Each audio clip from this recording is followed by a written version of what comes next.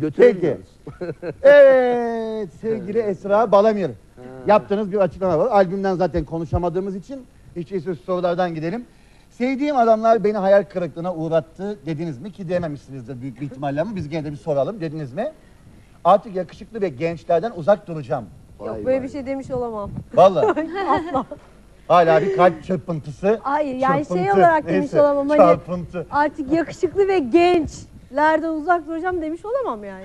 Ne dediniz peki? ne yani, Böyle gençlerden uzak durup yaşlı adamları tercih ediyorum gibi bir şey mi bu? Sevdiğim adamlar beni Ama hayal... yakışıklılardan biraz ürküyorum o bir gerçek. Vallahi. Vallahi yakışıklılar kızların kıymetini bilmiyor çünkü alternatifleri fazla oluyor. Yakışıklı adamı rahat da bırakmıyorlar. Ya şimdi ben bilmezsem ben anlatamam. Sana var ya Roquefort gibi bir adam lazım. Ne Rock- gibi? Roquefort. Yok. e, Roquefort, peynir. ben. Söylemeyelim yani. Daha kapalı böyledir daha güzel.